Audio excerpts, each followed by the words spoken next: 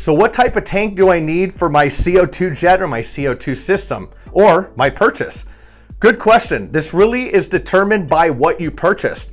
Any type of CO2 jets, stage mounted jets, handheld cryo guns, CO2 cannons, whatever they're called, anything other than a backpack, you're going to need a siphon tube tank.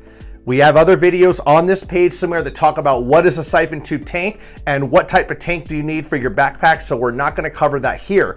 Look at those videos if you have further questions on that. You'll need high pressure siphon tube tanks, also called an eductor tube or a siphon tube spelled S-I-P-H-O-N, S-Y-P-H-O-N, two different versions, or simply a dip tube tank. Also, people call this a liquid draw tank.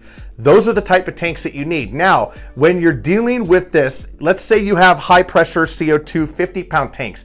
If you need to set these tanks, those are the smallest you can get, and you need to set them under a stage or you need to set them under something, typically you can use regular tanks. You just have to have the bottom inverted. We do not recommend that though. I'm stressing that because in an emergency situation by an extremely trained professional that deals with this, that is an option.